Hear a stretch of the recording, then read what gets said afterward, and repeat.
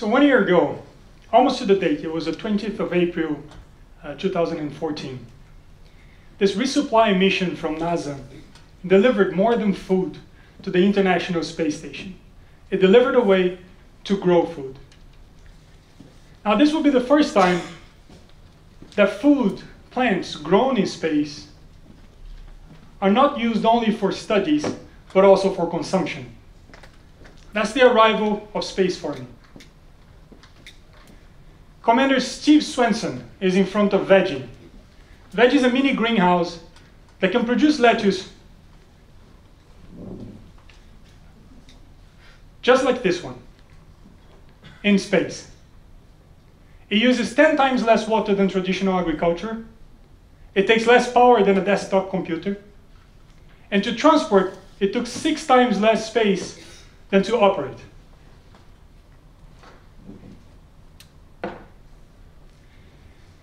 Bringing anything to space from Earth costs its weight in gold. So resources there are precious. Should we treat our natural resources the same way? When I look at the globe, I see Brazil, the country I was born, a country blessed with uh, many natural resources. Still, a few weeks ago, I read an article in the press about the severe drought that's happening in Sao Paulo. Sao Paulo is a metropolitan area with 27 million people. And they're having a drought that's one of the worst for the past 100 years. Now, this journalist was uh, asking this lady how she was going to cope with the drought. And Brazilians are known to have several showers during the day. So he was asking her, Are you going to have less showers? Or are you going to have quicker showers? Unfortunately, a second shower is not the most pressing issue we have when we have water shortage. Every minute around the world, a child dies from water-related diseases. In 10 years, two-thirds of humanity are expected to suffer from a form of water shortage.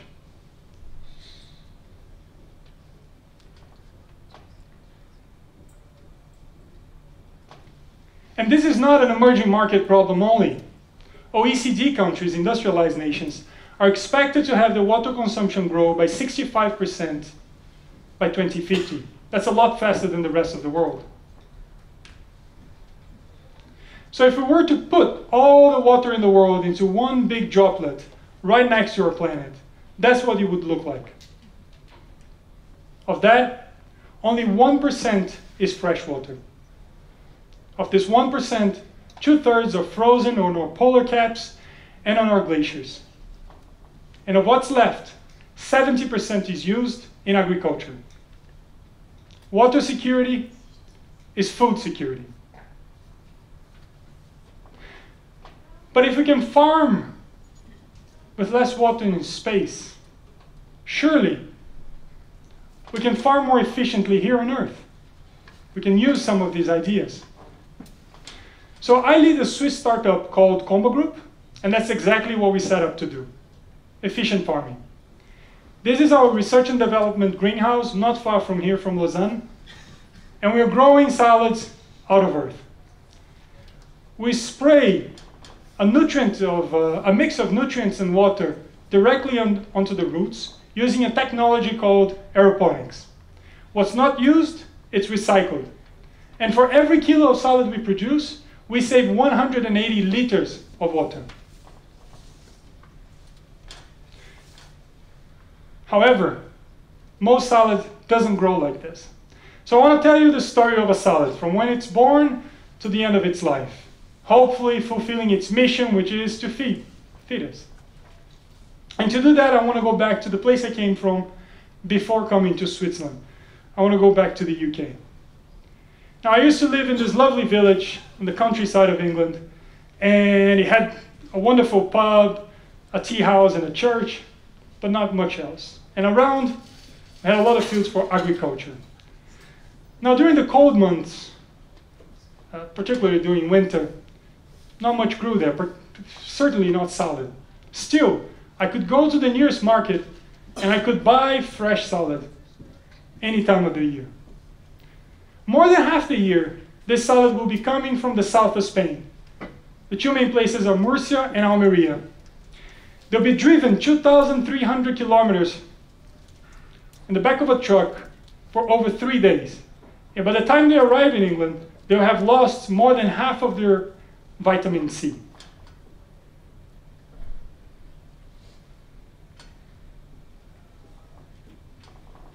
What's the impact on waste? What's the impact on the environment? Well, let's talk about waste first.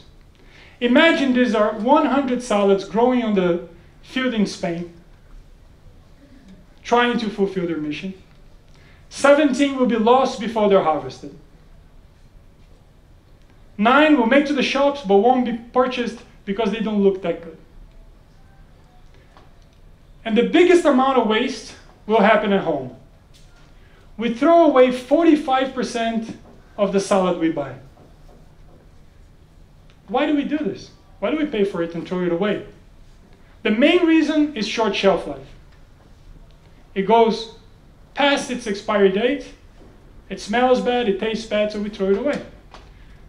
So the days it's been traveling in the back of a truck are important days that they could be with us. And if we could cut the level of waste we have with salads by 50% and make it instead of the number one in food waste, the number two in food waste, which isn't a great track record, we could save 300 liters of water for every kilo of salad we eat. Now that's enough for that lady to have a second shower every day of the week for one week. Unfortunately, these salads don't grow in Brazil, they grow in Spain. And water reserves in Spain per capita are 12 times smaller than the water reserves in Brazil.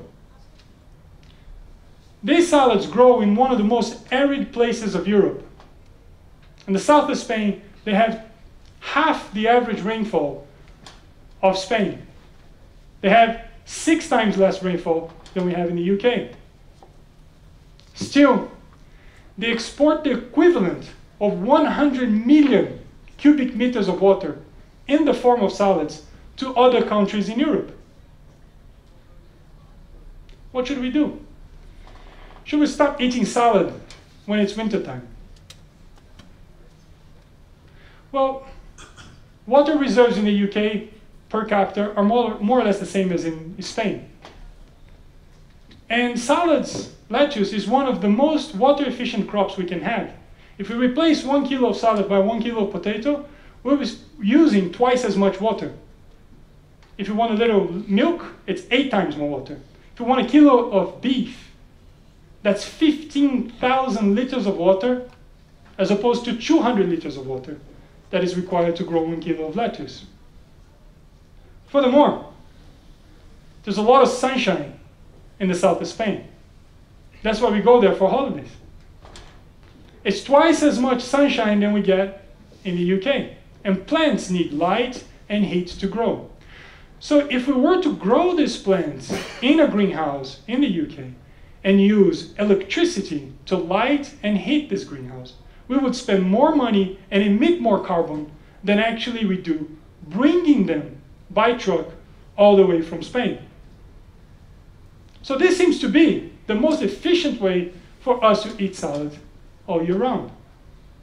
But is that how an astronaut will look at the problem? We saw how we could grow salad with 10 times less water. Well, we can also start by using light that's more efficient. We can give the plants only the colors they need, red and blue. That's why you see the purple light on the picture. Now, these salads, they grow in the air. And when they're small, we can huddle them closely together and gradually give them more space as they grow. That way, we can produce two times more salad per square meter than we would in the field and use the energy from the light and heating more efficiently. We could also use waste heat to warm up the greenhouse. Here in Switzerland, we're going to build a large-scale project right next to a biogas plant. Now this power plant throws away heat and CO2 as a byproduct of energy production. These resources are precious. We'll connect our greenhouse to this power plant and warm it up during winter, also using the, CO, uh, the CO2 to accelerate plant growth. By doing that, the carbon footprint we have per kilo produced is five times lower than doing the same thing on the field here in Switzerland. However, energy footprint in the UK is 70 times higher than what we have in Switzerland. There are a lot of renewables here, and we burn a lot of coal in the UK to generate electricity. So would that math also work for the same ideas in Britain? In fact, we could produce during winter with the same CO2 footprint that the field can produce during summer in the UK, and even lower during winter when we don't need uh, to light them up to complement the lights. But furthermore, we could provide a product that's fresher, locally produced, and hopefully reduce the amount of waste, reducing the carbon footprint per kilo consumed, and bringing it to less than half of what we have right now importing food uh, from Spain. Ultimately, we throw more food away than we consume today.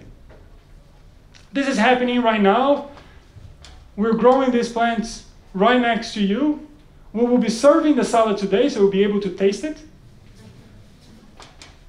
And if you could replace only 10% of the food imports in the world, that would be enough to offset the carbon footprint for 1 million people and would save enough water for 30 million people to have a shower every day during the year, the whole of São Paulo and a bit. We could even bring the salad alive to our kitchens, extending space farming all the way to our homes. Have a product that has a longer shelf life, more vitamins, and reducing waste, therefore saving our natural resources. This is our team. We try to dress like astronauts, we try to think like astronauts, but what we learn from astronauts about farming is that we can farm with less water, less energy, and less waste. And by doing that, we can have food that's fresher, healthier, and better for the planet. Thank you.